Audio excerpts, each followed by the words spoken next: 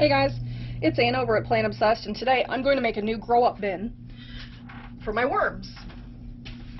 I have been getting them out of various containers, and this is a light migrated amount of worms here. We'll have a look and see what we've got. But let me get some bedding together, and we'll get this thing made. Okay, here is my prepared bedding that has been down here in the basement. Um, kind of preparing. It doesn't have any coconut coir in it right now because I don't have any. It's just paper that has the um, kelp meal in it and the eggshell in it. Um, so not the typical, didn't have any, use what I've got is pretty much what I do. So this is going to be the beginnings of this bin. I'm going to get that a nice whopping handful. And then let's see what what worms we have. Well, that's that might be a pound of worms, maybe. And then I'm going to completely fluff this up to make sure all the microbes that are in the leftover castings get in contact with the the paper bedding. I'm going to have to get some coconut coir at some point or otherwise this is going to become a very clumpy, sticky mess if I just use paper. Um, normally once I get a bin moving, I just use the paper bedding, but uh, right now it's getting that time of year where, you know, COVID and all that business, you just can't get things you want like you normally would. And right now I can't find a brick of coconut coir.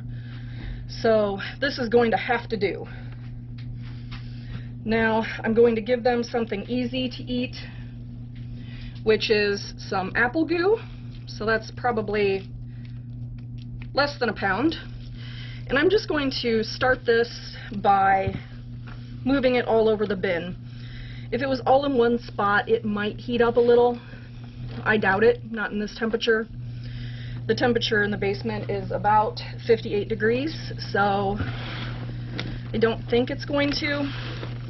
But I'm just going to give them a tiny little bit of food, mix it up with the castings and the approximately one pound of worms.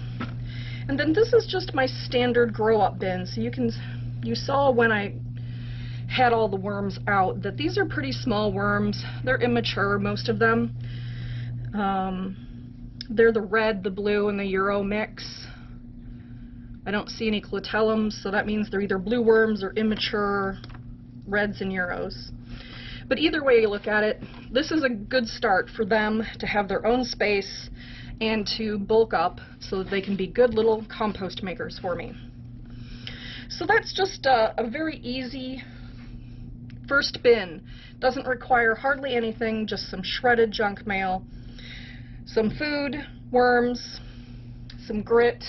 The grit that's in there is this, which is like oyster shell and eggshell, but that's already in the bedding, so I'm not going to add more.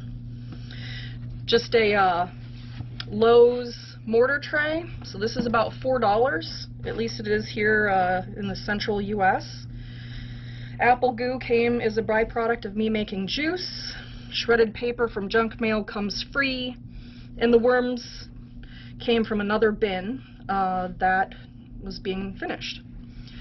So I'm just going to bury up those avocado pits. And that's just a, a, really short first bin. A lot of people put a lot of thought into it, think you need to spend a lot of money, but you don't. You know, a $4 little plastic bin or even one that you have around your house you don't need or the lid broke. Um, is a very good starter bin. You don't need a lot of worms. They reproduce very quickly. So you don't need to worry about getting a large amount of worms to start a bin to be successful. Now these guys with a pound of worms, I will feed them about a pound a week right now. So like I made that little ball, that's all the more they're going to get per week with their bedding. Uh, a lot of websites will tell you they'll eat a their weight in food per day, but that's really unrealistic and you can that can lead to protein poisoning and also your bin becoming very foul smelling. Now, as this is a new bin, I am going to cover it up with um, some bubble wrap so that it stays nice and moist. Normally, if you're going to have worms that want to escape, it's normally going to be at this stage. Um, because they've been disturbed from their normal habitat. It's new bedding. I did not pre um, set the bin with castings, um, which I do normally do. But this is like a normal situation when somebody first has worms and they don't really think, you know, to prep. So if that's what you did, this will be successful. The food is spread out. The worms can spread out and they have just enough food, um, not enough that will heat up and not enough that will go anaerobic. Alright guys, well, if you like the video, give me a muddy thumbs up. And if you're not a member of my worm family, click that subscribe button. If you want to know what I'm doing when I'm doing it, ring that little bell icon. Alright guys, thanks for hanging out with me and my worms, and everybody have a good day.